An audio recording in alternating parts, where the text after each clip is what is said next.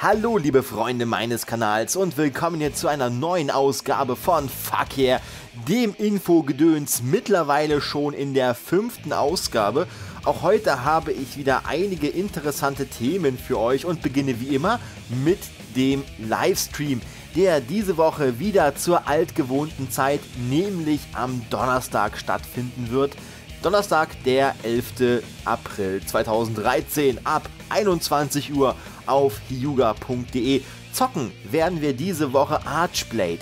Archblade ist ja eine Mischung aus, ich sag mal, Tournament-Shooter und League of Legends.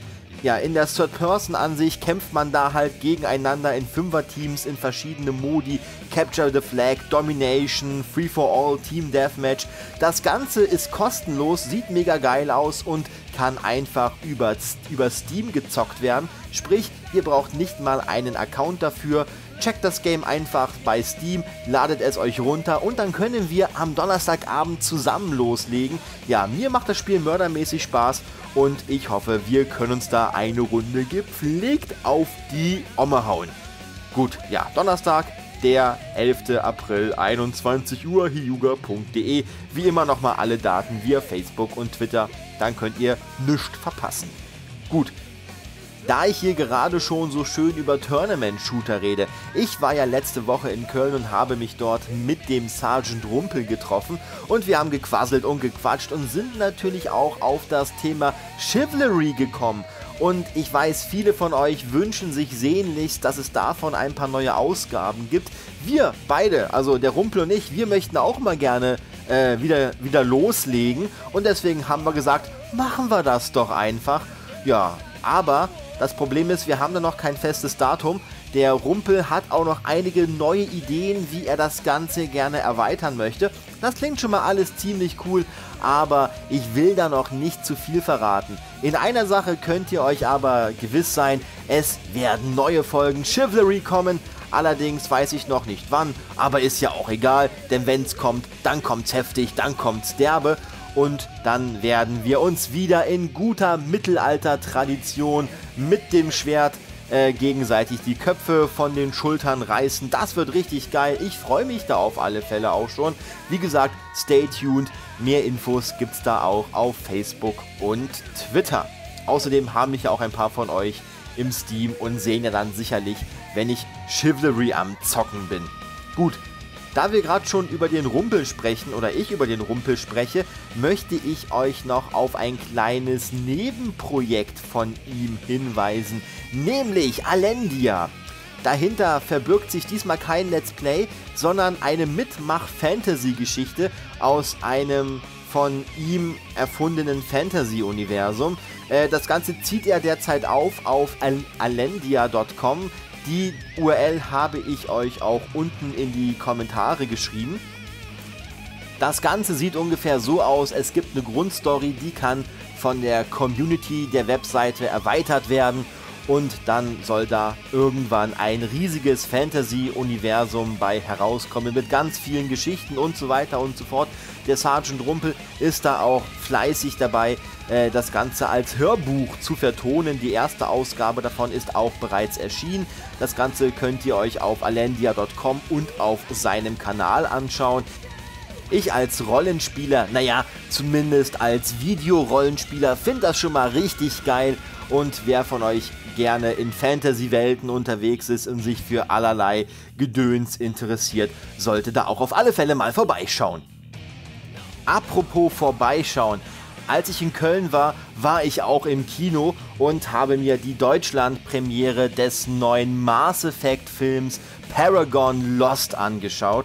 Ja, der Film ist zwar schon ein bisschen älter, allerdings erscheint er jetzt auch in Deutschland mit einer, ich sage mal, gelungenen deutschen Vertonung. Wie ihr ja wisst, bin ich ja eigentlich Freund deutscher Synchros und bin da nicht ganz so kritisch äh, wie die ganzen Hardcore-Fans, die bestimmt wieder einiges zu meckern haben.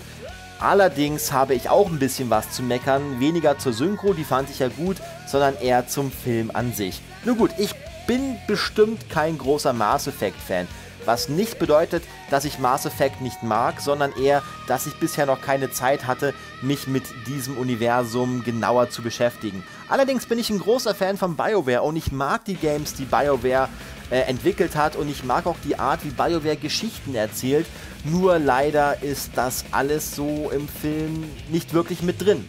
Mass Effect ist mitunter die erfolgreichste Reihe von äh, BioWare, denn immerhin die ersten beiden Teile sind wirklich Kult und der dritte, naja, da spalten sich so ein wenig die Meinungen. Die einen sagen, das Ende ist scheiße, die anderen sagen, naja, das Ende ist nicht so toll, aber das Spiel bis zum Ende ist immerhin super und wieder andere sagen, dass das Ende eigentlich gar nicht so schlecht ist. Wiederum äh, kann man durchaus sagen, dass Mass Effect 3 trotzdem ein gutes Spiel ist und deswegen haben sich auch viele auf den Mass Effect Film gefreut, der ja nun auf äh, DVD und ich glaube auch auf Blu-ray, bin mir da nicht ganz sicher, aber auf alle Fälle auf DVD bei uns in Deutschland erschienen ist oder noch erscheinen wird. Ich bin hier gerade auf der Amazon-Seite. Ab dem 26. April ist der Film deutschlandweit dann verfügbar. Ja, erstmal muss man mit dazu sagen, dass es ja ein Doppelprojekt war. Und zwar hat das Animationsstudio, dessen Name mir entfallen ist, ist aber auch nicht so wichtig, hat das Ganze äh, so gedacht, man hat einen Dragon Age Film gemacht und einen Mass Effect Film. Allerdings ist der Mass Effect Film eigentlich zuerst erschienen und der Dragon Age Film später. Bei uns ist es aber umgekehrt, da ist erst der Dragon Age und dann der Mass Effect Film erschienen. Und ich muss sagen, der Dragon Age Film war jetzt nur so mittel gewesen von der Story, konnte aber durch eine wirklich gelungene Animation überzeugen. Allerdings der Mass Effect Film Paragon Lost ist das genaue Gegenteil. Denn da ist die Animation, gelinde gesagt, eine Katastrophe. Das Ding ist im Anime-Stil gezeichnet und ungefähr auf der Qualität einer durchschnittlichen modernen Serie. Das heißt nicht ganz so hochwertig wie eigentlich Kinofilme oder OVAs äh, produziert werden, sondern dann eher schon auf Fernsehqualität. Äh, das würde ja noch gehen, hätte man nicht versucht, so einen Anime 3D-Mix zu machen. Allerdings, wenn ich an Anime 3D-Mix denke, denke ich an so Sachen wie Appleseed oder an Ghost in the Shell. Und das sind Filme, die sind schon bockalt, bestimmt schon 10 Jahre und die sind echt gut. Also die sind super, auch von der Animation her. Bei Mass Effect kommt man sich vor, als ob die 3D-Szenen äh, mit einer geringeren FPS laufen, als ob die nur mit 20 Bildern pro Sekunde laufen. Das heißt, das 3D-Bild ruckelt. Es ruckelt und das ist echt total kacke, denn somit geht ja dieser ganze moderne Effekt flöten. Und jetzt sind wir auch nicht mehr mitten in den 90ern, sondern leider schon 2013. Und da finde ich, äh, sollte man, gerade wenn man so eine krasse Marke wie Mars Effect äh, mit drin hat, doch schon einiges bieten.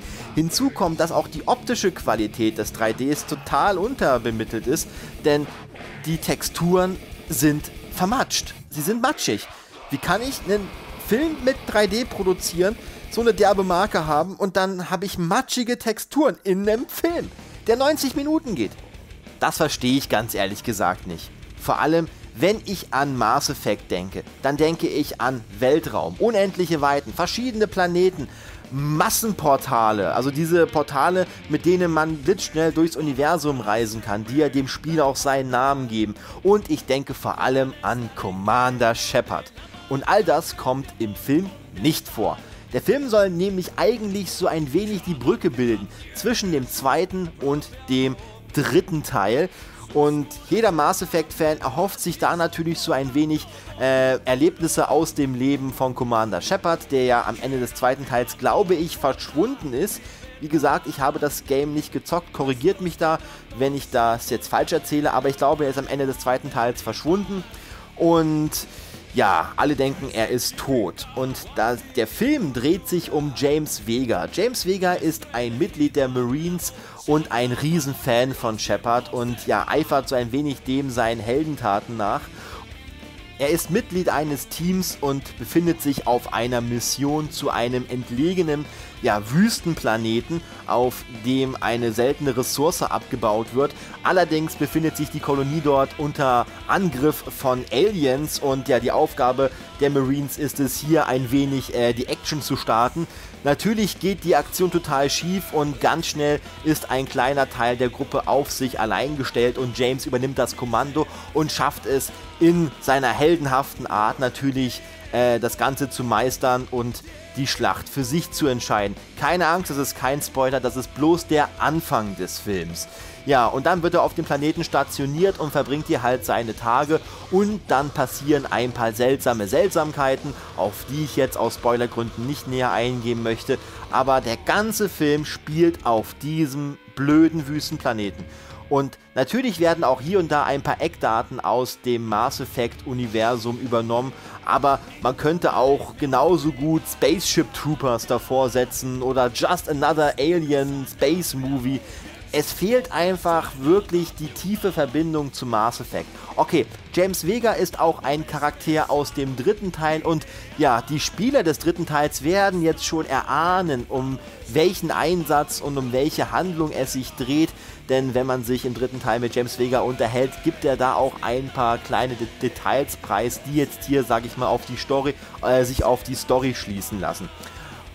Mal davon abgesehen, dass die optische Charaktergestaltung wirklich echt nicht so wirklich 2013 und für einen Sci-Fi-Film überhaupt nicht akzeptabel ist, geht die Story gerade noch so. Also man kann sie schauen, es ist Popcorn-Kino, auch wenn das Ende so ein bisschen gaga gemacht ist. Wer von euch ein knallharter Mass Effect-Fan ist, sollte sich den Film ansehen, da ihr da bestimmt noch ein paar kleine Infos rausziehen könnt, die ihr bisher noch nicht hattet. Wer sowieso nichts mit Sci-Fi und Gedöns anfangen kann, der kann sich die, die Kohle sparen und alle anderen sollten sich überlegen, ob sie wirklich jetzt einfach nur, äh, sag ich mal, 90 Minuten kleinere Unterhaltung wollen oder ob sie jetzt hier einen großen Film erwarten. Ich persönlich sage mal, ich würde ihn mir nicht nochmal anschauen, denn ich fand ihn halt echt einfach schlecht. Kann natürlich jeder sehen, wie er will. Das ist jetzt auch nur meine Meinung. Der Film wird bei uns, wie gesagt, nur auf DVD erscheinen oder auch auf Blu-ray, aber auf jeden Fall auf DVD. Ab dem 26. April hatte ich ja gerade vorgelesen, aber ich bin hier eh gerade auf Amazon, das heißt, ich kann aber ganz schnell schauen. Und zwar äh, wird es auch eine Blu-ray geben. Ja, den Film wird es auch auf Blu-ray geben auch ab dem 26. April. Dann könnt ihr euch da selbst ein Bild von machen. Aber wie gesagt, wenn ihr nicht unbedingt ein mega Mass Effect Fan seid, dann überlegt euch das gut. Und auch wenn ihr Mass Effect Fan seid, stellt keine zu hohen Ansprüche an den Film. Vergleichsweise war nämlich der Dragon Age Film wirklich besser. Und jetzt habe ich damals schon gesagt, dass der Dragon Age Film nicht so pralle war. Also ne, seht ihr ungefähr, was ich damit meine. Gut, so viel dazu, liebe Leute.